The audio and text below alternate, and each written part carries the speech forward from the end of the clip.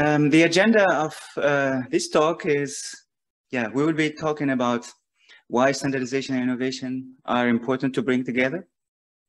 Then I will uh, provide you with main contents of the chapter. And I will try to give you an overview about what has been written there and the ideas uh, that were elaborated. And I will like then to propose a way to teach the content. So this is a proposal. You may do it differently, uh, absolutely, but this is my thinking about how the content could be um, conveyed to students. And I will provide at the end some general experience from teaching standardization. So what is the learning objectives of the chapter is first of all to to provide students the possibility to study the interdependencies between innovation and standardization and how standardization and innovation can benefit each other. Also to give some concrete examples, as I said today morning, it's very important to give the students these examples to have the uh, a very good understanding of the concepts. But also another thing is to look at the interdependencies between research and standardization. And the chapter ends with the so-called innovation potential and standardization. And this is based on research that I have done with some colleagues. And uh, it shows how companies may actually benefit from standardization in order to boost and to promote innovation. So this is based on our own study, um, which has been uh, conducted yeah, during my work at Fraunhofer. Um, yeah, at the beginning, we should also confess that standardization and innovation may have opposite definitions if we look at them from this way, from this perspective. So standardization aims at keeping things the same if we are really speaking very, very uh, simply about standardization. On the other hand, innovation is about developing new things. So how can keeping things the same support the development of new things? And therefore, we have here, uh, so to say, a conflict, a tension between innovation and standardization, at least if we, we look at it from that perspective. And here there are very interesting citations. The one saying, standardization and innovation give the impression of being opposites. And standards are the flux between freedom and order. And yeah, I'm starting this, the, the chapter always by explaining what innovation is for students. So if they are not innovation management students, if they have been learning innovation, they know what innovation is. If they are engineering students and did not have an innovation management course, so they have to know what innovation is. First of all, we have to realize that invention, innovation is more than an invention. And uh, innovation is actually invention plus exploitation. So coming up with something new, but also exploiting that invention in practice. So an innovation without a practical implementation does not make sense, right? And what's important, and this is, I think, essential, is that to say to students that innovation is not this breakthrough innovations that we see from time to time. This is not the smartphone as innovation as, yeah, at, at the very beginning as the smartphone was invented or the, the Apple iPhone. No, innovation actually can be, can have different flavors. So, and one of the definitions uh, which are very prominent. I think that they are really good. This is the OECD definition saying that innovation can be new to the firm, something that the firm absorbs, something that the firm takes from outside, which is new to the firm, still can be understood as innovation. The innovation can be new to the market. It means that for the in the industry in which the company is operating, the product or the process or whatever, it can be something that is new to that that area. And new to the world, and this is the breakthrough innovations, and uh, we don't see many of them actually. And some people think, yeah, when they think about innovation, directly about this, And they would like to see examples how um, standardization has led to this uh, innovations. But these innovations, they are not many actually, right? And the process of emergence of these technologies, which are breakthrough, is very complex. Of course, there are other um, typologies of innovation like incremental, radical, or disruptive innovation, which is used nowadays very frequently because of digitalization, etc. Yeah, so this is, I think, very important to provide to students so that they know that there are many classifications and that innovation can be, um, yeah, can have different flavors. So there are many reasons saying why innovation is hum or is hampered by standardization. Yeah, we should confess this. For instance, yeah, standards contain static solutions. They are frozen. Or uh, standards induce a lock-in effect. It means that we are locked in a certain technology. And we experience that yeah, many times when we, uh, does somebody want to use another uh, word processor than the one that you are using now? Perhaps, perhaps not. Or would you would you change your keyboard? Yeah, from yeah in, in France, the, the keyboards that are used are AZERTY, right? When you are in uh, yeah, in Italy, you are using QWERTY. When you are in Germany, you are using QWERTZ, not Y, but Z. So yeah, and uh, as I moved from um, Germany to Italy, I tell you that I have written everything wrong because only of two buttons two key, that, that were really changed, Z and Y. They take the place of each other. And it was really a nightmare. So only two keys were uh, so decisive uh, in, in, for my experience. Um, another thing, also the, the, yeah, the lock-in effect induces the switching costs. So your switching costs from one technology to the other will be um, uh, very high, and therefore yeah, you would like to stay with the technology that you have, and therefore you don't want to change. And another thing, this is called the penguin effect. Um, it is called the penguin because when a penguin comes into the water, all the penguins also follow. So for the standards, it's also the same. You, yeah, in order to opt for to adopt a standard, you would like that others also use it. Uh, otherwise, it would be quite problematic for you. On the other hand, we have um, some innovation promoting features of standards. Um, standards ensure compatibility, um, support the achievement of a critical mass, which is very important, at least at the beginning of uh, the emergence of a technology.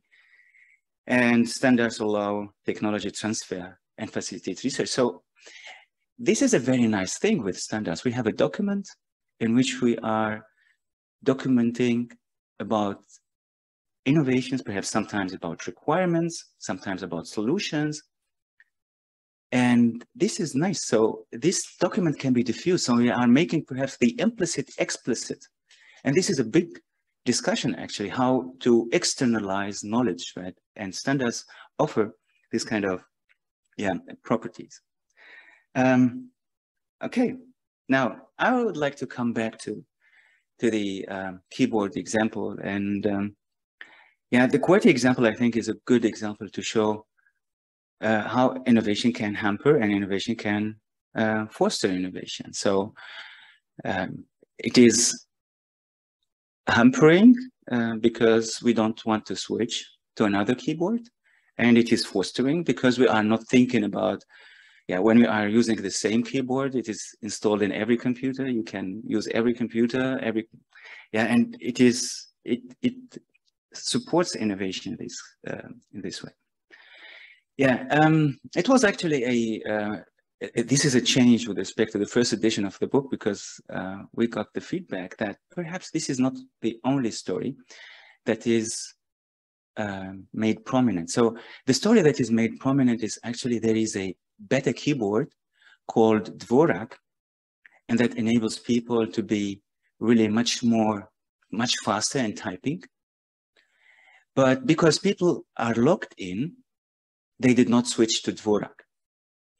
And the reason is that, okay, people did not coordinate, cannot coordinate their actions together, and therefore the, the, the QWERTY, which is the lower standard, could be, so to say, the successful one, and Dvorak could not be the one that is used at a large scale. Yeah, this is, by the way, very interesting. How can a lower or lower quality standard, so to say, um, prevent a better one to get into the market, right? Yeah, by the way, you know where, how the QWERTY has been uh, invented? It was when we had these typing machines, it was done in a way that the, the possibility or the probability of the two two uh, key, keys are go or are in jam or jam together, the probability is very low so that people can go very fast. And it was the spirit of the QWERTY.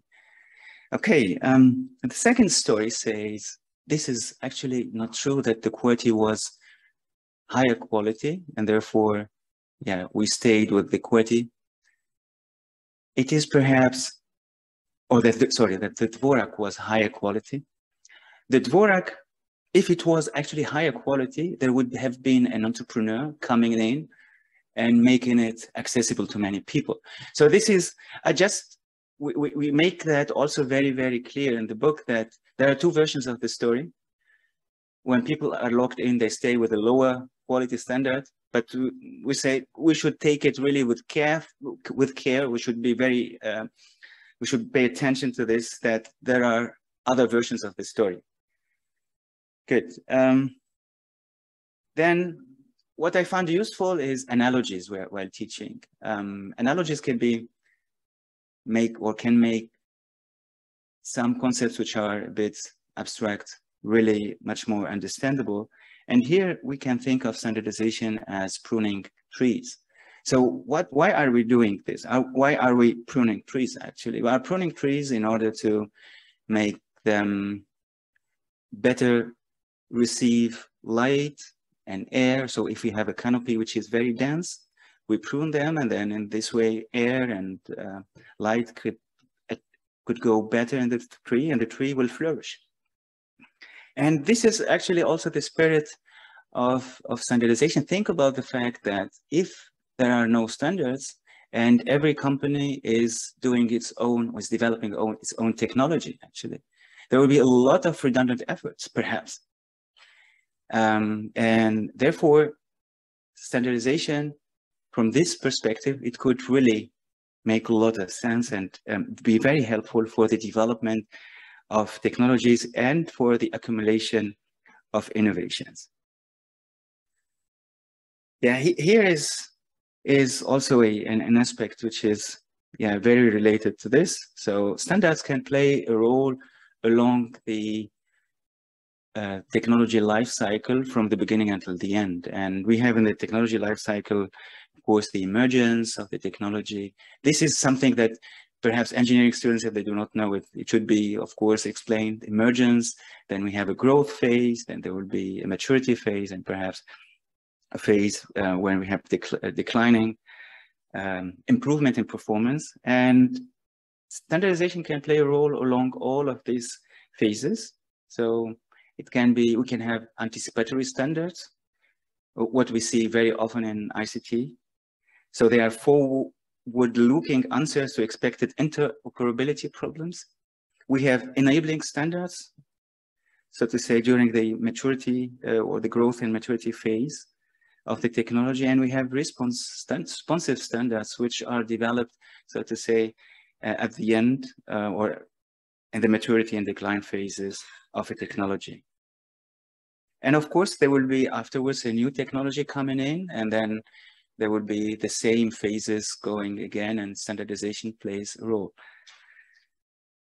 Then another thing, and yeah, the discussion also between of yeah, perhaps it is interesting for students who would like to to do research and uh, in the future, and for PhD students, um, to which extent can um, standardization support research or R&D can support um, standardization. So for sure, when companies are doing R&D, they are taking their innovations to standardization. This is something they can they can do, and um, they um, yeah they support their um, results in this way. But also standardization can feed back to uh, R&D in the sense that we use the results from the standards in order to um, yeah to um, to enrich the knowledge during the R&D phase. Yeah, um, yeah, many of my students, and I, will come back to the, the topic of patents, um, they tell me, yeah, why should we go to standardization uh, when we can patent the results? And it is a, um, a very important question, of course. Um, and of, yeah, there have been a lot of studies in, in, in this. And what I'm telling my students, and I'm answering this way, you know, there are about 85% or let's say 80% of patents that are not used, which means there is a lot of knowledge that is not used because this is the right to exclude somebody from using something. But have you ever seen a standard that has not been used? At least, at least it is used by the members in the committee, but the standard is diffused and the standard will be used by, by many, as many individuals and as many companies as possible. So we are making a standard to use it. We are making a patent just to exclude others. And this is a very, I think, an interesting thing um, to show the importance of, uh, of standards and standardization. So um, another another thing is, um, yeah, which which is very interesting. Um, why do not people or researchers participate in, in standardization committees?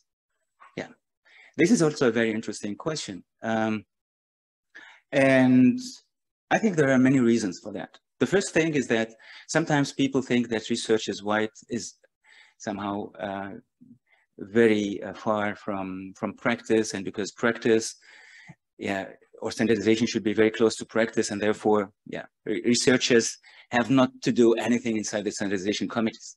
This is their opinion. I'm not sharing that with them but this is yeah one of the, the yeah the explanations that uh, can be can be provided. Another another thing is that um, yeah we know that researchers they're getting their promotions inside the universities based on publications. So if you are good in standardization, yeah, this is good for you.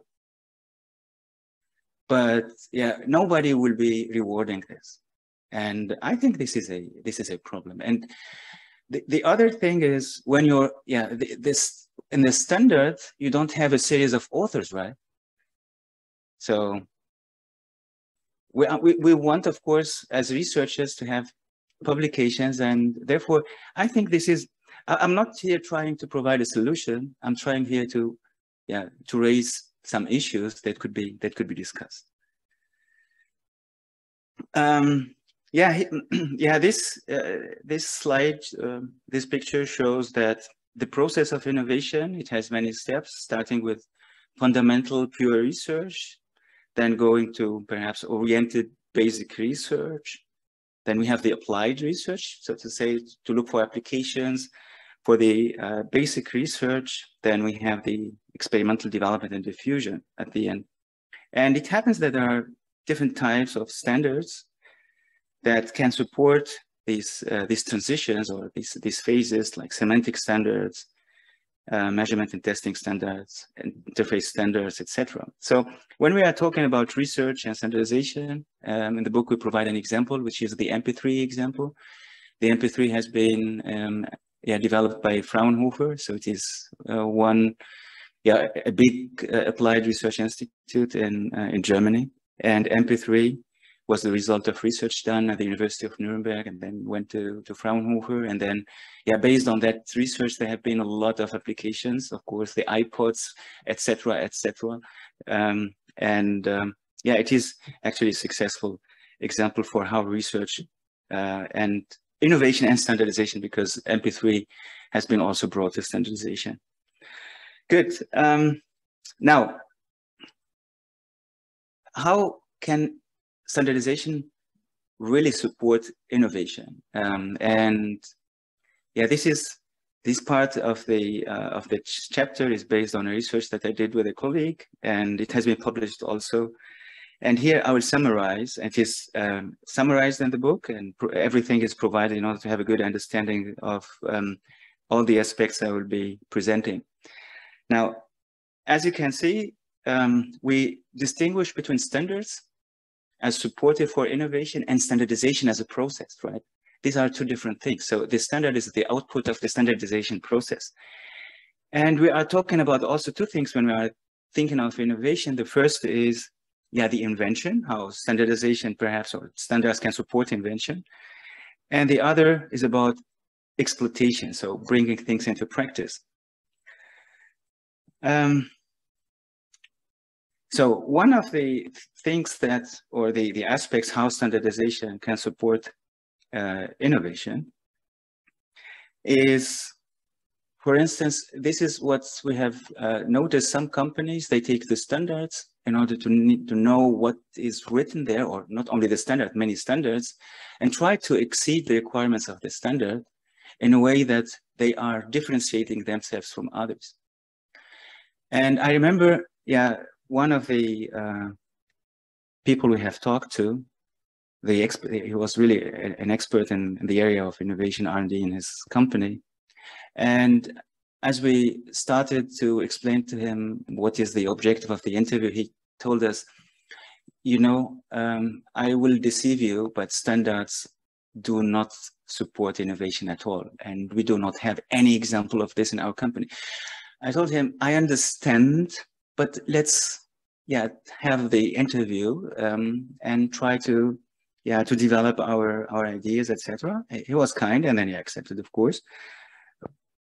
You know and then after about 10 minutes he gave me an example about how standards are actually supporting his innovations in the company his r&d without knowing that. Of course i did not tell him, yeah, this is a good example. I, I made the interview very normally so that he doesn't feel offended.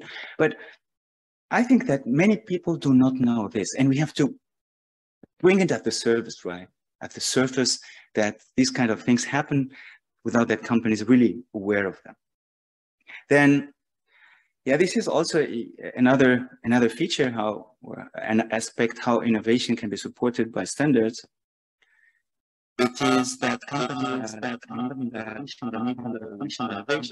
innovation. So, so this is perhaps just summarized by this uh, citation saying the set of standards in our enterprise is the basic prerequisite for us in order not to develop products for the trash, trash can, right?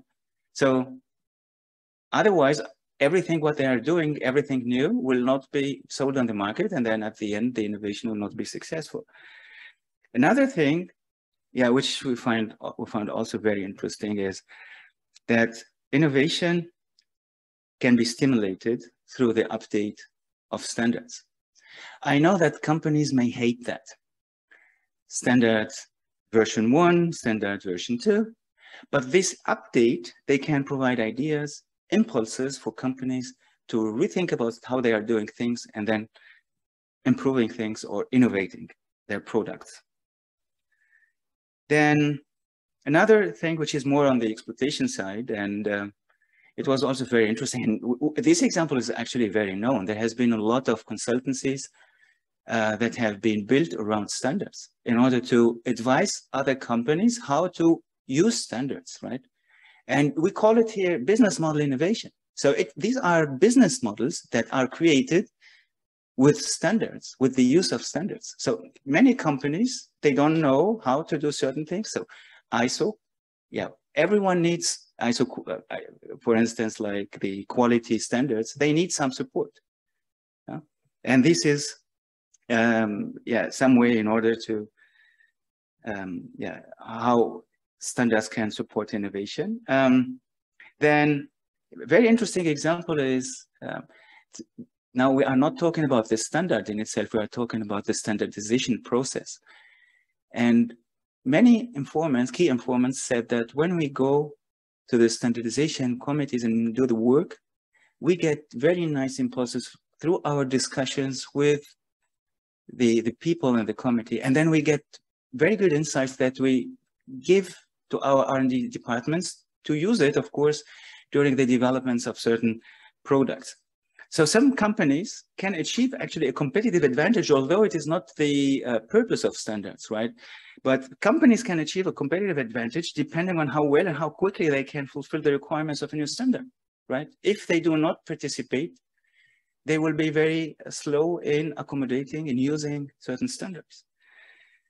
And of course, innovation communication is something that's um, very interesting. Um, here it is a citation from uh, a, a, company saying, we inform our customers about our activities and the standard setting process uh, because customers themselves are also very interested in knowing that the products that they are buying, they are also corresponding to certain standards.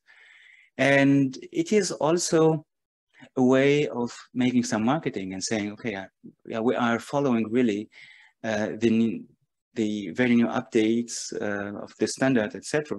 So it is about building trust with um, with customers, and it is um, yeah also um, let, let's say sometimes it is a, a marketing instrument, right? We are using the standards for uh, for our uh, in our products.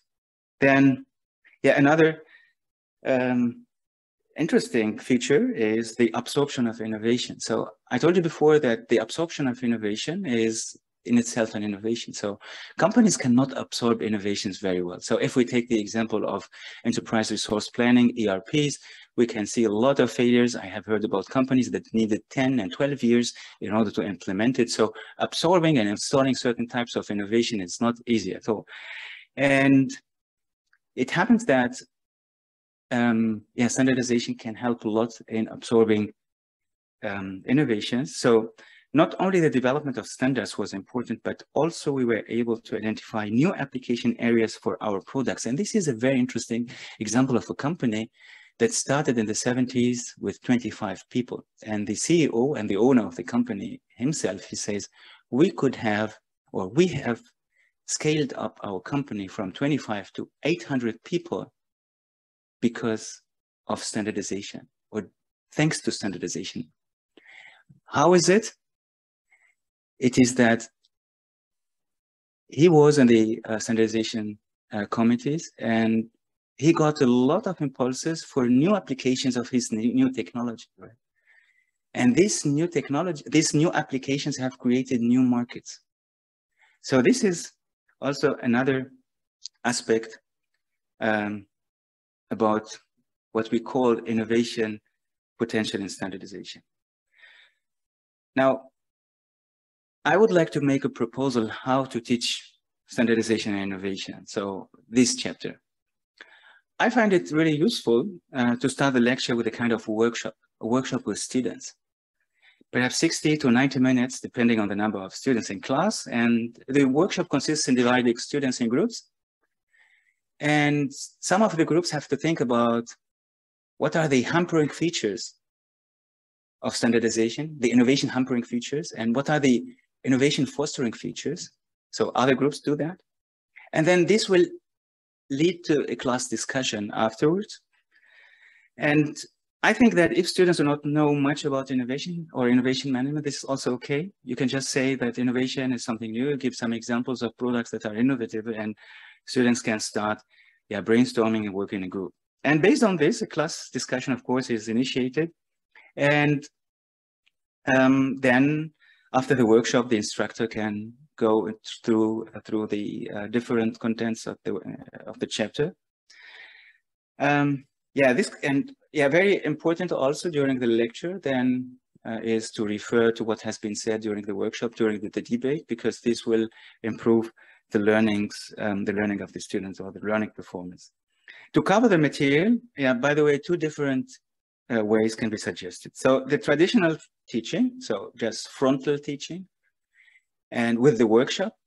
But what we are experimenting also uh, a lot um, in our in my university at Politecnico di Milano is the flipped classroom. This could be very interesting also. Students may read this chapter before coming to class, and then the class will be about a discussion with students about the main concepts and the main uh, contents of the chapter. And it really works well, given that students, of course, uh, prepare the contents before. Otherwise, it will be just a, a frontal, very traditional classroom. now I would, this is my last, uh, my last slide for this, um, for this talk. So I would like to, to tell you a bit about my general experiences with teaching standardization. So I have been teaching in the University of Leipzig um, business management students, and they have been taking a course of innovation management, and I integrated some of the contents in the innovation management class. So they were master students.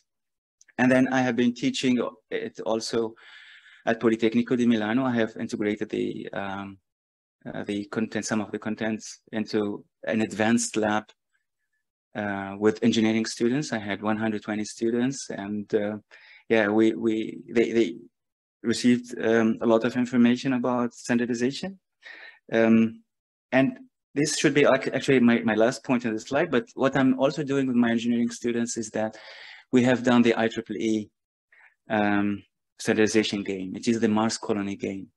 And it was very interesting. The game is played in four hours. The game has not been actually played before uh, in a virtual way, but I have done it during the COVID time with my students, and it worked really very well. And the idea is that students really negotiate with each others. Um, so you have a lot of roles, yeah, roles, and then students have to negotiate uh, in order to, uh, yeah, for, for a certain standard. Um, it is about, yeah, um, yeah, the, the, the, or perhaps another important point is uh, that I have students from many uh, countries in the world. And it was really interesting to see how these negotiations uh, are taking place in an international context, because you have different cultures coming together.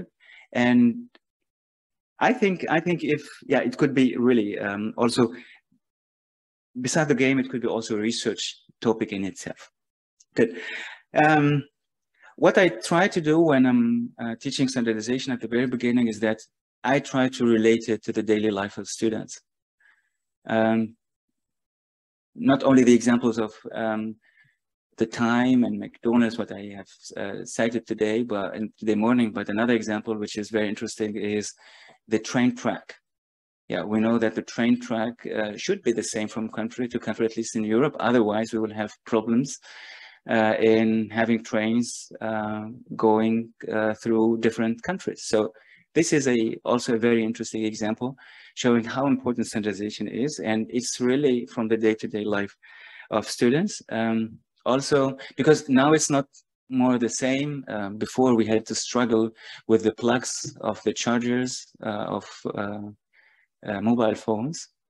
Yeah, uh, if you have a mobile phone from another, so now it, it's more or less not not anymore like that. But it was for a certain period of time a very problematic. If you have a a certain brand, you should stay with it. Otherwise, uh, you cannot uh, you cannot charge uh, your uh, mobile phone, or if you forget it for a conference, you cannot get the charger of a colleague. Um, then, yeah, um, what's what's really good actually, and this is uh, I would like to to end my talk with it, is that engineers and management students exhibit really a high level of interest for standardization once they know more about the topic. So there is somehow a, um, a certain uh, threshold that we have to to to um, to go beyond, and then when we uh, we achieve that, then students are really very interesting.